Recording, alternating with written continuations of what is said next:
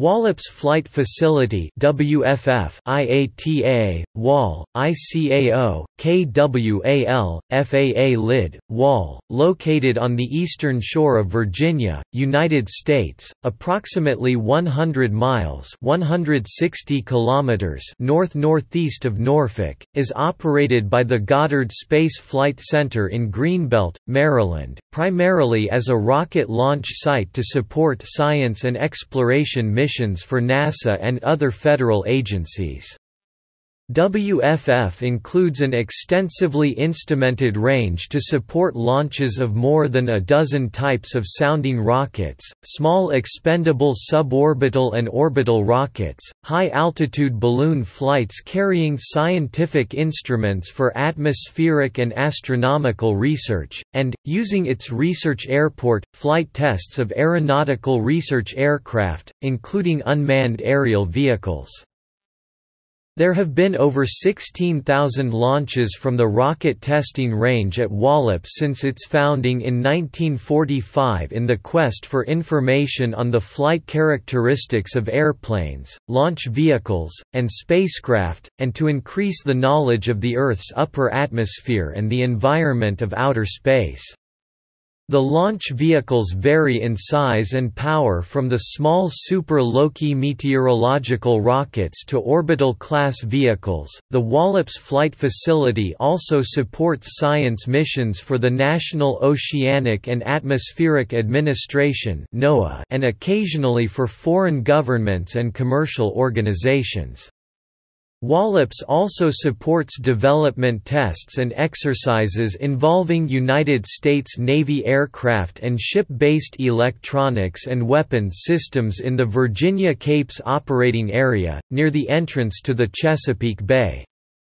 In addition to its fixed location instrumentation assets, the WFF range includes mobile radar, telemetry receivers, and command transmitters that can be transported by cargo planes to locations around the world, in order to establish a temporary range where no other instrumentation exists, to ensure safety, and to collect data in order to enable and support suborbital rocket launches from remote sites.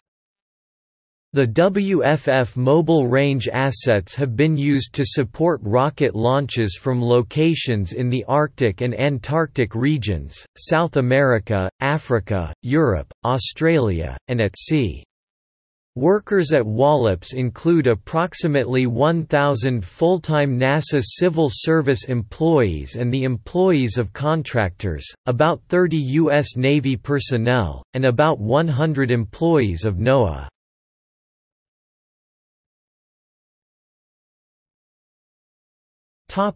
History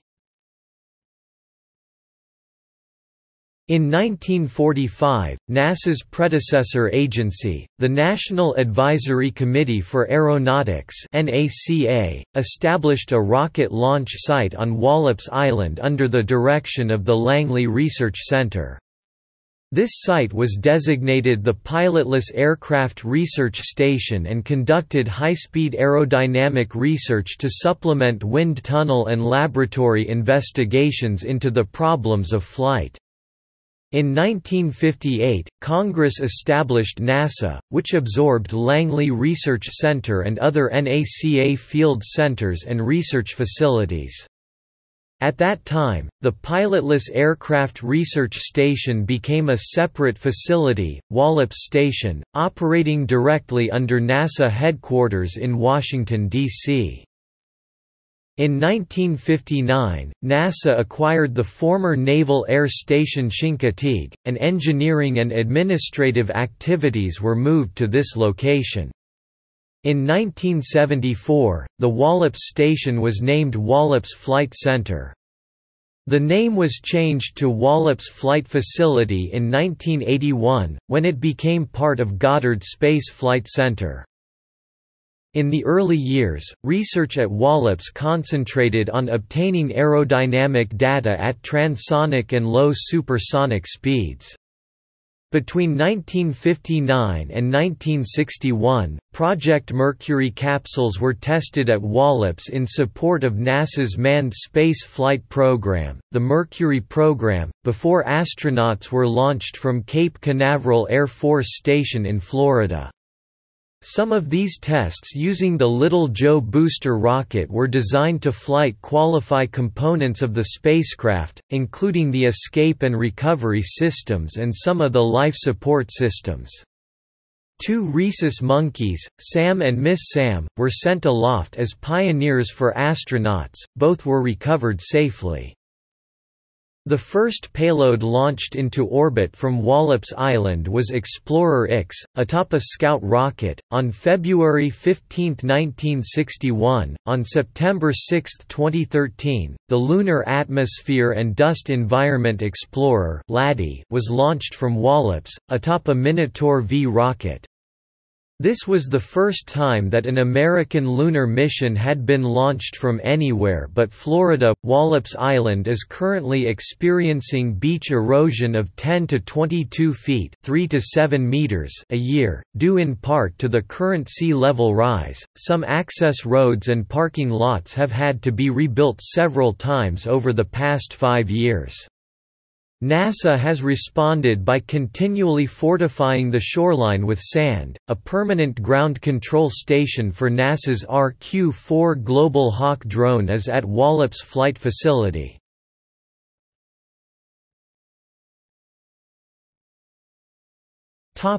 Facilities. The WFF main base is located on the eastern shore of Virginia on the Delmarva Peninsula about 5 miles oh kilometers west of Chincoteague, Virginia, about 90 miles 140 kilometers north of Norfolk, Virginia, and 40 miles 64 kilometers southeast of Salisbury, Maryland. The WFF consists of three separate parcels of land totaling 6,200 acres 25 square kilometers, the main base, the mainland, and the Wallops Island launch site.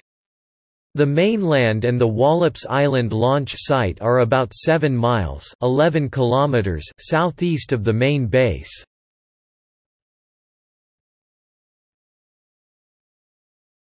Topic Airspace. Wallops operates controlled airspace with Federal Aviation Administration (FAA) qualified air traffic controllers including the WFF Airport Control Zone to 2,500 feet 760 meters within a 5 statute mile 8.0 kilometers radius of the airport Restricted Area R6604 connecting WFF airspace and offshore warning areas.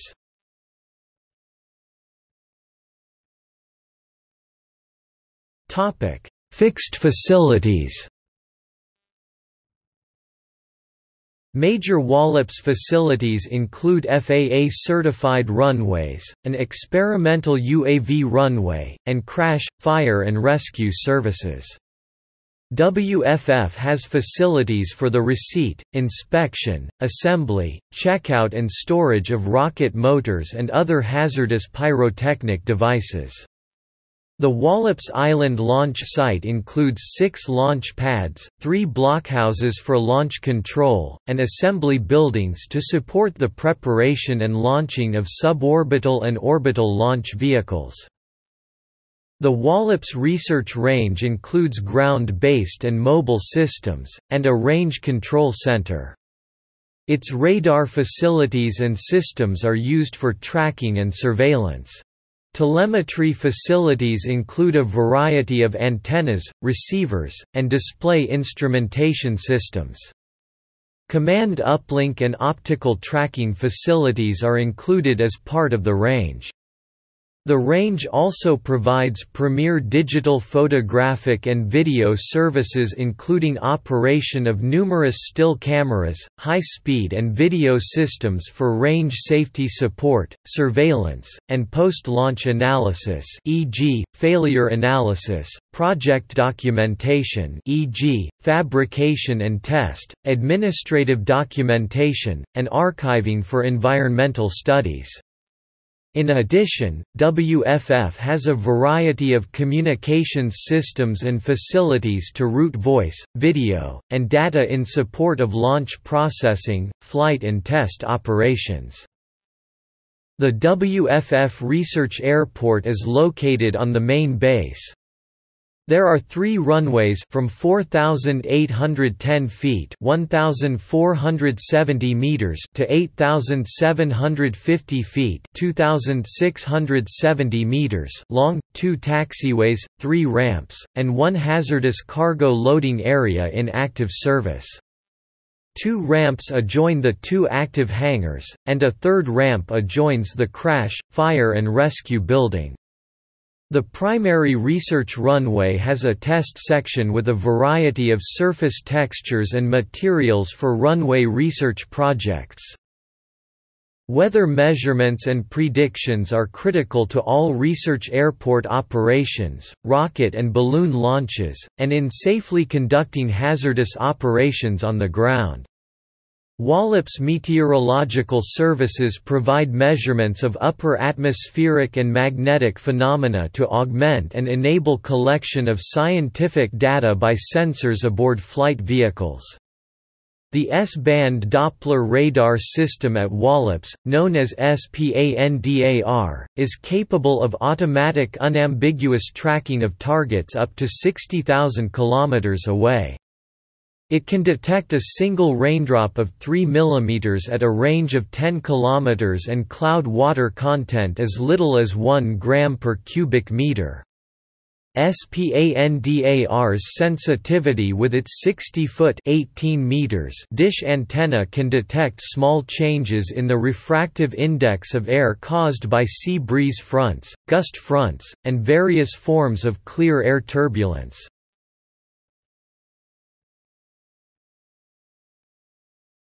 Topic: Mobile systems. The Wallops mobile range instrumentation includes telemetry, radar, command and power systems. These assets are used as needed to supplement instrumentation at existing ranges, or to establish a temporary range to ensure safety and collect data to support the rocket customers in a remote location where no other range instrumentation exists. This complement of transportable systems can be deployed to provide complete range capabilities at remote locations around the world. While Wallops Island is the prime location for range services, major sounding rocket campaigns have been supported at Poker Flat, Alaska, Andøya, Norway, and Kwajalein Island, Marshall Islands. The Wallops mobile instrumentation is integrated with NASA and Department of Defense networks and can be used to supplement established ranges in support of rocket launches.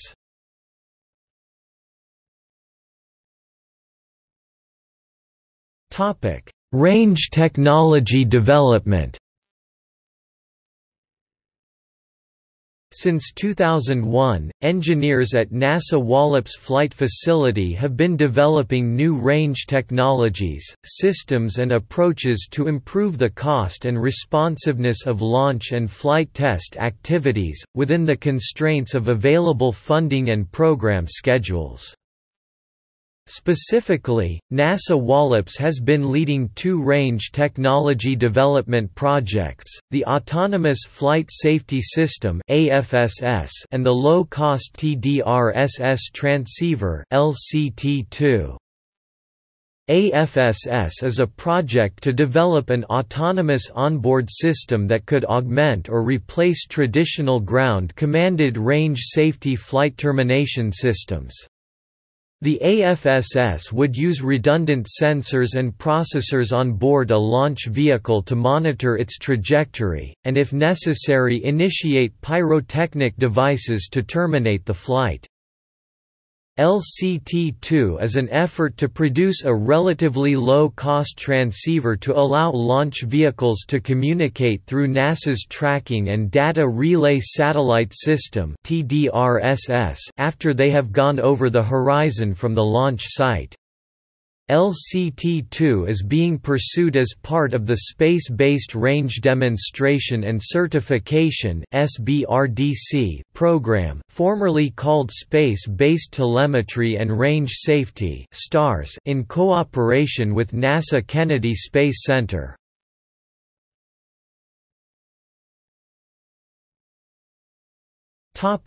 Missions WFF's primary mission areas are as follows. Sounding rockets.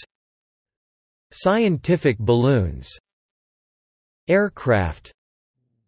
Range and mission management.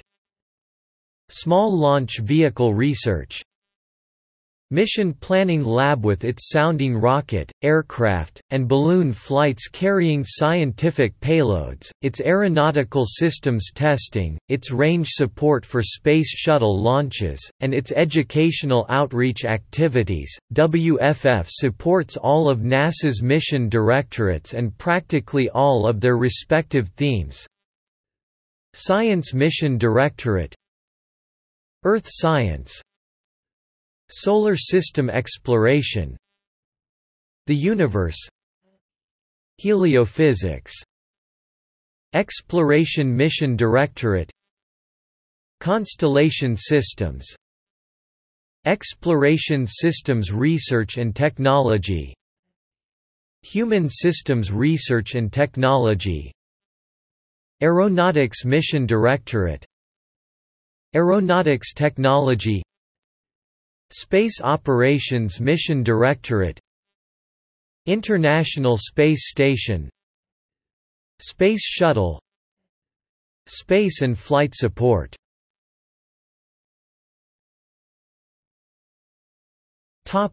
Commercial spaceport In 1998, the Virginia Commercial Space Flight Authority, later joined by Maryland, built the Mid-Atlantic Regional Spaceport at Wallops on land leased from NASA. In December 2006, the facility made its first launch.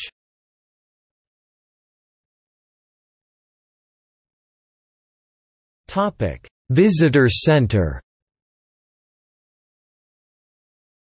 The Wallops Visitor Center has a variety of hands-on exhibits and hosts weekly educational activities and programs to enable children to explore and learn about the technologies designed and used by NASA researchers and scientists.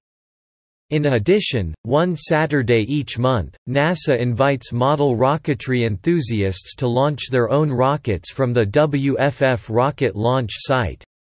NASA personnel also participate, launching models of various rockets and explaining the spacecraft they carry in real life.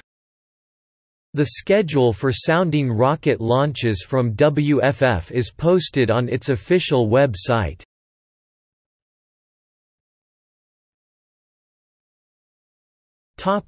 Education For many years WFF was home to the NSIP sub-SEM and SEM projects. NSIP stands for the NASA Student Involvement Project. The Sub-SEM project was to design one of four experiments that would be inserted into an Orion 2 one-stage rocket and launched above 98% of the atmosphere, and experience over 30 gigaseconds of centrifugal force, while SEM was to design an experiment that would be flown on a future Space Shuttle mission. Each project gave 16 students and 4 teachers 4 students and 1 teacher from each high school the opportunity to spend an almost all expense paid week at WFF.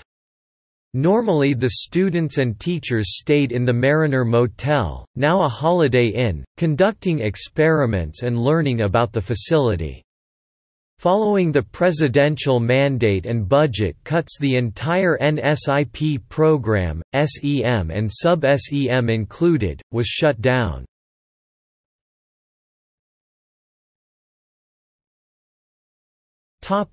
Accidents On April 2, 1957, a Lockheed P-2V-6 Neptune exploded in mid-air after takeoff from what was then known as NAS Chincoteague. All 11 occupants of the aircraft died. On October 23, 1995, the maiden flight of a Conestoga 1620 rocket failed 46 seconds after liftoff, resulting in disintegration. EER Space Systems, Conestoga's manufacturer, concluded that low-frequency noise from an unknown source upset the guidance system on the rocket causing it to order course corrections when none were needed. The rocket went off course when its first stage steering mechanism ran out of hydraulic fluid and became inoperable. After this failure, the Conestoga program was terminated, and EER abandoned the launch business. At the time of the launch, the Conestoga was the largest rocket ever launched from Wallops Island, and it was the first orbital mission attempted from the facility since 1985. The company's launch pad at Wallops Island were the first commercially built facilities in the U.S. Fourteen scientific experiments, some of which were planned to return from orbit, were destroyed. All debris landed in the Atlantic Ocean. There were no injuries. On October 27, 1998, a Learjet 45 was destroyed at Wallops after a loss of control during a water ingestion test flight. Only minor injuries to a co-pilot and flight engineer were reported. There were no ground injuries. The airplane was being used to test a new nose wheel tire. For the test, the airplane was passed through a «pool» or «trough» of water on the runway at different speeds. The pilot failed to obtain, maintain alignment with the water pool and lost control. The plane departed the left side of the runway, and struck a pickup truck parked adjacent to the runway. On August 22, 2008, a ALV-X-1 sounding rocket was intentionally destroyed 20 seconds into flight after veering too far off course. On October 28, 2014, a failure occurred in an Antares rocket, carrying Cygnus CRS Orb-3, shortly after launch and destroyed both both the rocket and the payload at the adjacent Mid-Atlantic Regional Spaceport on Launch Pad 0A.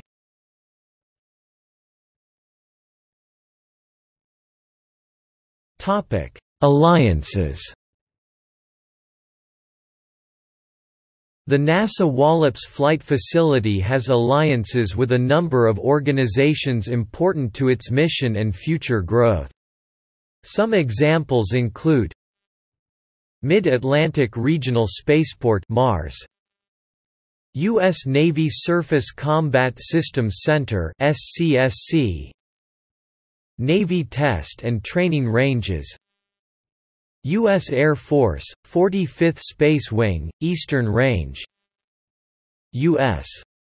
Coast Guard National Oceanic and Atmospheric Administration NOAA, National Environmental Satellite, Data, and Information Service NESDIS, Marine Science Consortium MSC, White Sands Missile Range WSMR it has also worked with the National Security Agency in experiments involving ionized clouds for communications interception during the Cold War.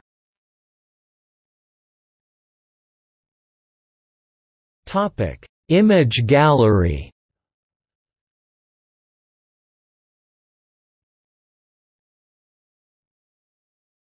Topic: See also. List of space companies and facilities in Virginia